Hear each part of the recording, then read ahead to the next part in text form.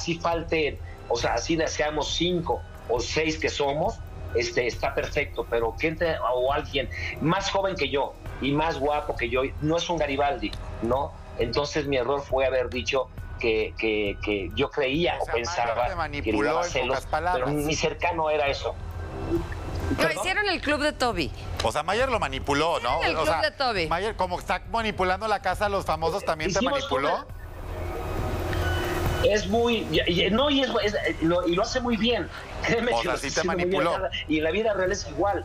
O sea, en la- es que no, no es que te, uno se deja manipular, no es que te manipule. Claro. O sea, tú crees en las cosas. Ahí sí. En realidad, Luisa siempre estuvo firme desde el principio de no somos los originales, quiere los originales. Claro. Y ella tenía razón. Claro. Y, y- y Katia también. Pero uno, Sí. uno- unos de necios, pues como soy de necio, no, yo Sergio es mi hermano y todo, pero te das cuenta que realmente este Ari quiere los originales. Si éramos ocho y ahorita Charlie. somos seis, pues quiera eso. Si somos cinco, quiera esos.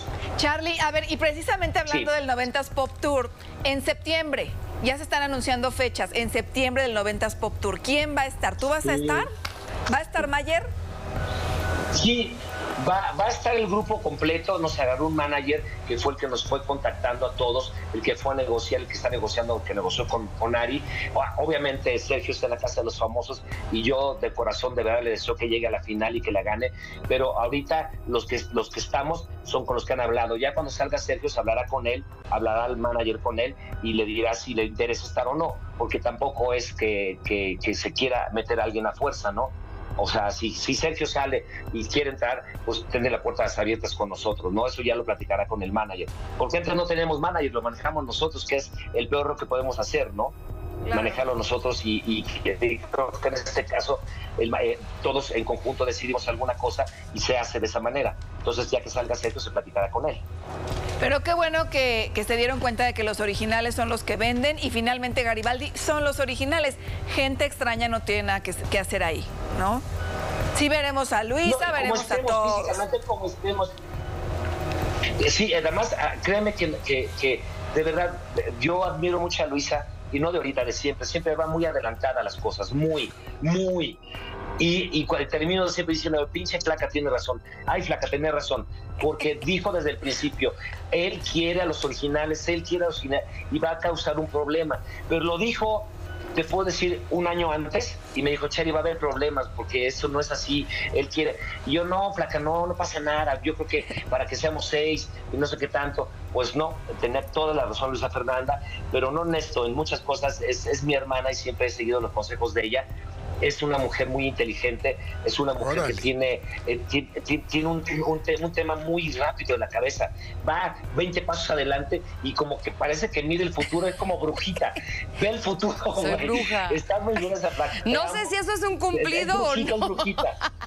Peleados otra No, vez. sí cumplido. ah, no, no, no. como- No, mira, no, no, mira. De inteligencia, de inteligencia. Perdón, no quiero, no quiero interrumpirte porque yo sé que es complicada la comunicación así, pero lo, siempre lo hemos dicho y siempre lo hemos subrayado. En las familias, si ustedes tienen hermanos, Claro. uno se pelea con los hermanos, un día te llevas, otro día no te llevas, otro día eres lo máximo, No, Luisa, otro a mi hermana así, yo no la claro. discriminó por su edad ni por su físico. ¿eh? Ay, Digo, no. no. te soy bien sincero. Eso es además algo muy falso porque entre hermanos eso no se hace. Perdóname, pero yo no. Bueno, quién así. sabe, yo a mi hermano sí a veces No, volteo y le digo, ¿sabes ya deja de tragar, que estás medio, Bueno, yo medio no. barrigón, pero bueno. No, pero, pero si algo, si algo tengo que decir es que las, las tres Garibaldis que están, están hermosas. Las tres de verdad, vean a Luisa Fernanda, Wow. tiene un cuerpo impresionante. Siempre para mí fue el cuerpo más bonito de Garibaldi. Y lo sigue teniendo. Tiene unas pompas de corazón, las piernas, la cintura. Ay, además guapísima. Ay, Y te las- pompas más bonitas. Juan Soler. hermano, lo Oye, dice con ¿cuándo todo es la boda? Charlie, No, qué boda, ni Ay, Mónica Noguera. Charlie, ¿cuándo es la boda?